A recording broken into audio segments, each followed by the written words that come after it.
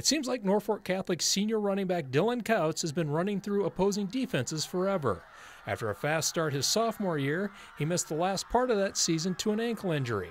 He came back with a vengeance last season and helped lead the Knights to an undefeated season and the Nebraska Class C1 state championship. That was awesome. It's something I'll never forget. We had so much fun throughout the year, and I know a lot of those guys. I've been close friends with all of them, and still with these guys here. So that was just fun to win that with them. Kautz hasn't missed a beat this season.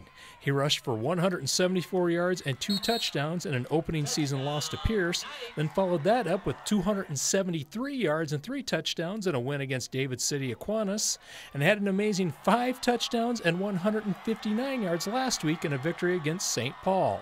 His totals through the first three weeks of the season are 606 yards rushing and 10 rushing touchdowns. He's, you know, he gives us a, a, tremendous opportunity offensively to score at any time. He, I think, I think originally as a freshman, Dylan's been blessed with a lot of speed. He was fast as a freshman, and and and he would be able to get to the outside and get good yards for us as he got stronger, especially into that junior year. He began to be a very good inside runner and outside, and and now he can take a ball inside, break out, and and get a long run, or he can just kind of run through people and get five or six tough yards. So he he just gives us uh, an opportunity to uh, be effective offensively really at any time. Football isn't the only sport Dylan excels at. He is currently the three time defending Nebraska Class C state champion in both the 100 and the 200 meters, and hopes to make it four in a row in both events in the spring.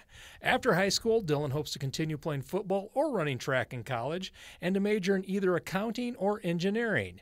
But before Dylan heads off to college, there's unfinished business this season. As our team, we don't want to lose the game the rest of the year last year we were lucky enough to go 13 0 and play in the state championship, and we know it's not going to happen again. So we've been out here working hard every single day to try getting back in that championship game.